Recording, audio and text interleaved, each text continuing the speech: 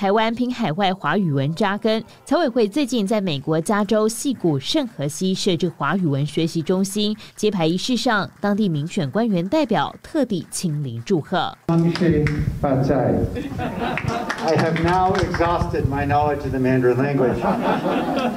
Uh, I know one more word, however, and that's an important word, and that is "she Thank you so much for what you have done to help enrich our community with this wonderful center and with the opportunities that you're going to provide for our residents here. 通过这华语文的学校的学习，不管是不只是只有语言，而是能够认识我们的台湾的文化。台湾会馆所属的台湾华语文学习中心是旧金山湾区的第三所，提供实体和线上课程，向侨胞子弟和美国民众传递正体中文的优美意涵。Languages, there's so much meaning inside the characters that get lost as they get simplified and reduced.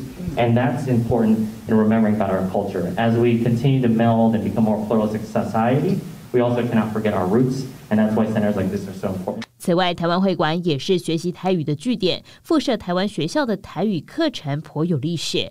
疫情后，也提供全球学生远端上课学台语。